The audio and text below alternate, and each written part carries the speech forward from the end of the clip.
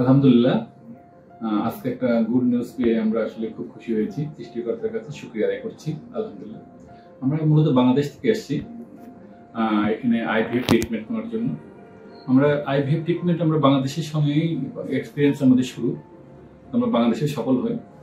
তারপরে আমরা দীর্ঘদিন পরে আবার সিদ্ধান্ত নিয়ে ট্রাই করব।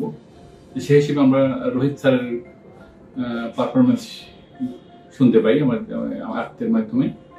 তারপরে আমরা আসি। এসে রোহিত স্যারের সেই হাস্যজ্জ্বল সবার সাথে ভাব বিনিময় করা, আমরা খুব অভিভূত হই যে একটা ডাক্তার কীভাবে মানুষের এত কাছাকাছি যেতে পারে স্মাইলিং ফেস শেয়ার করা খুব ভালো, আমরা খুব, প্রথমেই খুব খুশি হই। যা হোক, সে আমাদের আশ্বাস, আশ্বস্ত করে যে সম্ভব। যদিও আমাদের রুগীর বয়স অনেক বেশি, আটচল্লিশ প্লাস আমরা হতাশ ছিলাম, উনি বলে এটাও সম্ভব। আমরা বিশ্বাস করেছিলাম, তারপরে তার পরামর্শ অনুযায়ী আমাদের প্রিয়াঙ্কা ম্যাডাম হেল্প করেছে। এই বিল্ডিং এর পম্পা আমাদেরকে অনেক সাপোর্ট দিছে। সব কিছু আমরা চেষ্টা করি, আমরা সঠিকভাবে, সঠিক সময়ে যে নির্দেশনা ছিল ইঞ্জেকশন ওষুধ আমরা নিই। তারপরে তার পরিপ্রেক্ষিতে আজকে হয়তো আমরা বিটা এসে যে টেস্ট করি, আমরা বুঝতে পারি, ডাক্তার সাহেবের সঙ্গে সাক্ষাৎ করি, উনি বলি পজিটিভ আমরা তো পজিটিভ আশা নিয়ে রাখছি।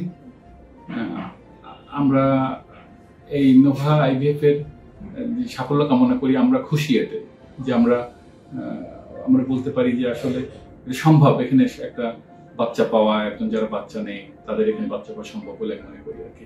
এনাদের আন্তরিকতা, এনাদের চেষ্টারই ফসল এইটা। ধন্যবাদ।